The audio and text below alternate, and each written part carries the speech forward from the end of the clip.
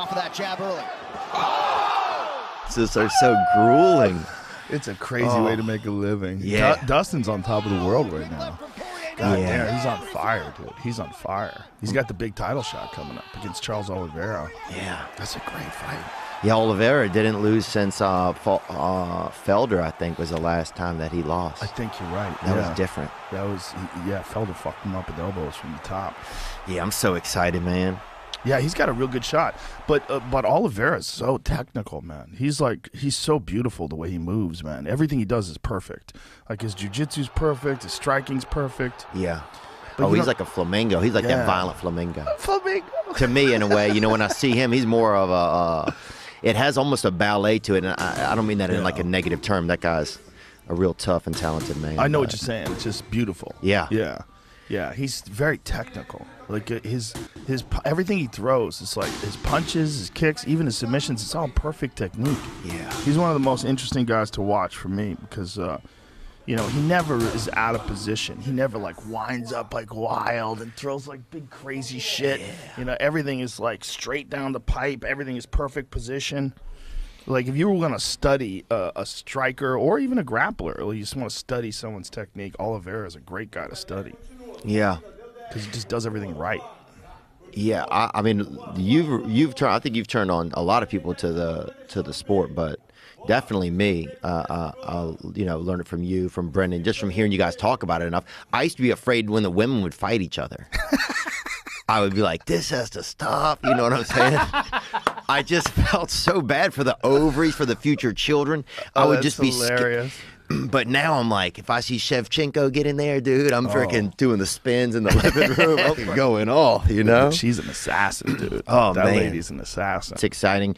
The yeah, being being able to kind of get to know him over the years has been cool, and yeah, just that whole universe, man. Seeing all these like it's just so because I was always afraid to fight when I was a kid. You know, I was always like it was like that would be the hardest thing. You know, Yeah, know, fighting's scary. so seeing people do it and like you know, and that's their way to express themselves, kind of. Um, and make a living. I mean, that's how Oh. Dustin makes his money, which is crazy. Yeah. Imagine your whole all the money to pay for food and your house all relies on you punching people in the face.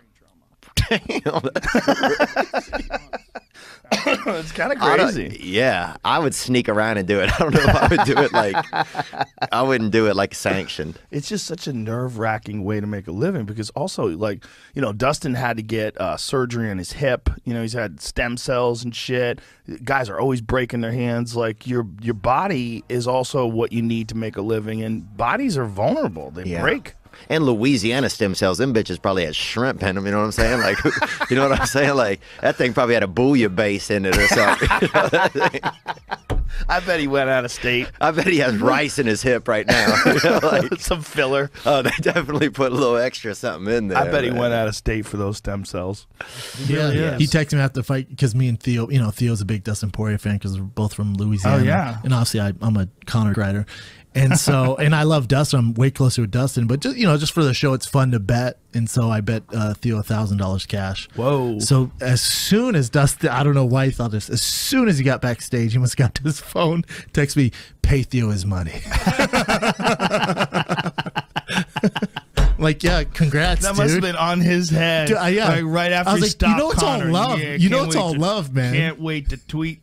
Yeah. you can't say that with a fighter. You bet against a fighter, you can't say it. Yeah, he they knows get it's mad. love though. Yeah, they get mad, take it personally. Dude, Oliveira's Oh! no joke, son. But Can't believe Oliveira, but okay, now oh, on Oliveira's side, that guy Right. is a fucking savage on his feet who will man. hook you up on the ground on his back. Dude, Oliveira looks real good standing up. He's man. a savage. High level on high level, two diff- two different styles, but still fucking crazy. This Well, is, Oliveira doesn't have a weakness in his game either. You know, his stand up is nasty and his ground game is terrifying. He has a ton of uh, experience. People forget how long he's been doing it. He's just on this hot streak right now. Six, six or seven in a row. Yeah, he's been around a long Dude, time, and this is an at him slip. opportunity for Look at him. him I'm all about Charles Oliveira. I love the fact that he's a jiu-jitsu black belt and, and his jiu-jitsu is uh, unorthodox. I love all that, Yeah, but dude, I'm really impressed Me with too. Oliveira don't give a fuck.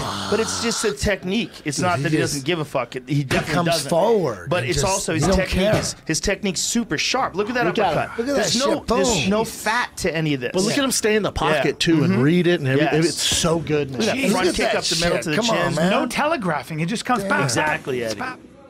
Chi non si iscrive al canale I disapprove 100%.